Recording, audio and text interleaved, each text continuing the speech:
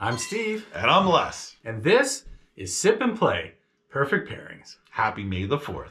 May the 4th be with you. And for May the 4th, the game that I brought today is the Star Wars deck building game. And this is a fantastic two player game, plays in about 30 minutes, and it was designed by Caleb Grace. Um, this game is a great two player game. Uh, it's a lot of fun. It's got all your main Star Wars characters in it. And essentially, it's a deck builder. So you're buying cards as the game progresses to improve your deck to give you better odds of destroying your opponent's bases. And they've got four different bases that they can choose from throughout the course of, I think there's 10 different ones in here that they can choose from. And they have bonuses and abilities that help improve or swing the battle as they go. You can attack cards that other players can draft, which give you other little bonuses. You can buy cards. Uh, there's capital ships you can put out to play. Star Wars, the deck building game, is a great little two player deck builder. Steve, what do you think of the game? I like the game because it's again, it's nice and quick. You don't. There's not a whole lot of thinking about it. Um, we hadn't played this for a little while, and you know, we got right back into it and played it again. Uh, you just play what cards you're you're dealt, and you go from there. It's kind of funny. You're going back and forth against each other. There's not a lot to have to worry or think about. It's just a fun, easy game. There's a lot involved in some of the other Star Wars games uh, where you, know the rules are like ridiculous sometimes. Uh, so I like this because it's nice and simple. You know, you could even play this out on the deck. You could play this kind of anywhere, quick and easy. Yeah, the rule book's fairly short. Yeah. It's quick to pick up on. Obviously, if you invest a lot of time to know the cards really well, you're going to be really good at it. But it is a fun Star Wars game. Yeah. Steve, what have you brought to pair with it today? So may the fourth be with you. Indeed, may So- the fourth be with you. Star Wars, it's that's an American institution. It is. It really is. And so I thought there's a lot of whiskeys out there that could kind of go into that theme. But there's one that you and I really enjoy.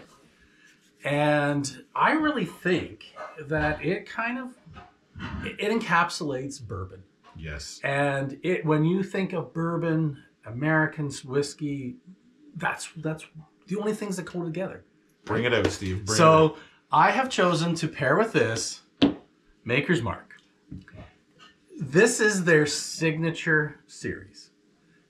They got the nice Imperial Red. Uh, maybe it's the Rebel Red uh, on the back of the cards. Uh, right? You have the Rebel Red. Um, the wax dipped top. And I know that Les really has a soft spot for Maker's Mark. Steve, I have a little surprise for you. Okay. Okay, I'm going to go grab it and I'll be right back. All right. I'm not sure if you're aware or not. I don't know. Am I aware? occasionally you can reach out to Maker's Mark on their website Okay. and they will print a custom label mm. for you to Nice. fit this exact Ooh, bottle. that's cool. So I actually did this months ago, Okay. and I have this. It's our own oh. official tabletop Oh, that's tastings awesome. label for Maker's Mark. Very cool. So I don't know if you want why to go you through. you go ahead and talk? I just wanted to chat a little bit about Please. Maker's Mark.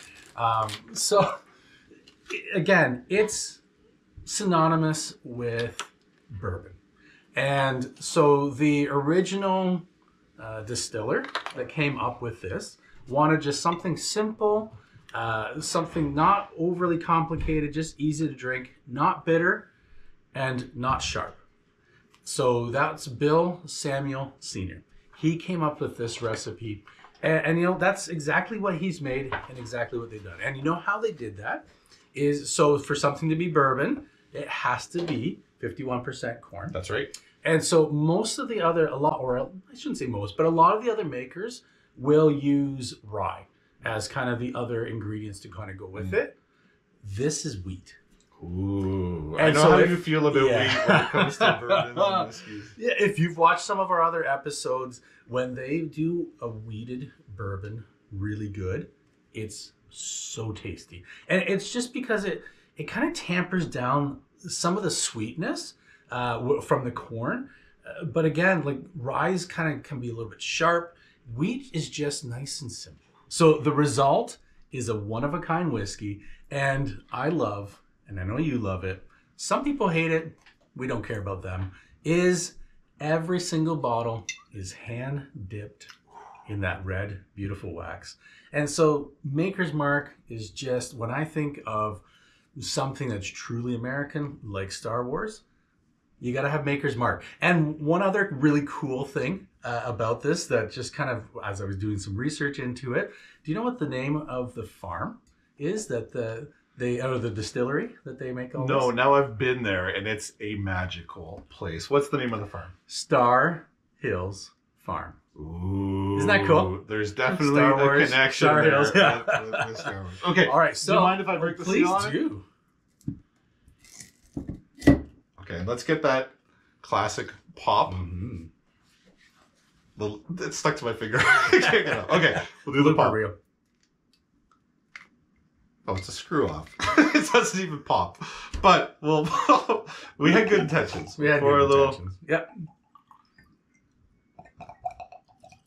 It's got a good glug to it. hmm So again, just that that beautiful wheated bourbon Oh yeah, there it is. makes it so nice and smooth, and like they said, easy to drink. You don't have to think about it. You just enjoy it. Maker's Mark is fantastic. Yeah. So I think we have learned something here today, Les. We sure have. We've learned if you're gonna play Star Wars: The Deck Builder, you want to pair it with a bottle of. Maker's Mark, just their original series. Thank you so much for watching. Please like and subscribe. Yeah, please do.